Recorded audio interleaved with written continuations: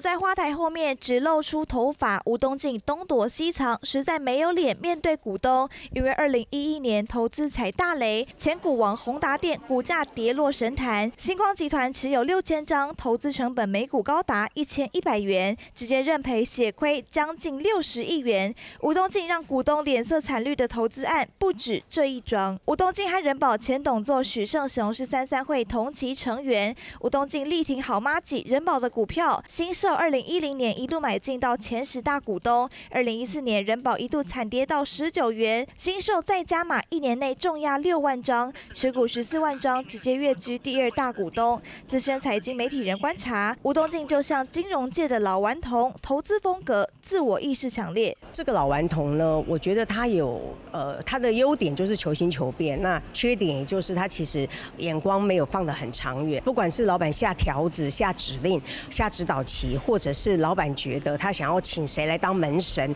其实专业经理人都没有什么可以呃智慧的余地。争议不止投资踩雷，二零二零年吴东进被迫卸下星光金董座没多久，又被金管会保险局开凿，认为星光人寿资产配置、清场能力等等内控严重缺失，开罚两千七百六十万元。二零二三年洪世奇为首的改革派凭借百分之三十八的股权委托书，颠覆吴家六十年的经营权。吴东进就算个人权利受限，传出也会用递小纸条的方式，让别人代为发言，派他的这个要重要的干部啊，就写个纸条，说我想要怎么做，我想要怎么做，他会有在董事会或者在相关的会议里面有人帮他发言，逐渐要尝试的把这个这个所谓的吴东进在星光的影响力，把它慢慢拔除。知情人士表示，这次出包的银发宅事业是吴东进砸重金花时间打造，二零二零年就曾经被检举，引发内部公司部分的反弹，让个人争议事件再添一桩。三立新闻张雨成做这么报道。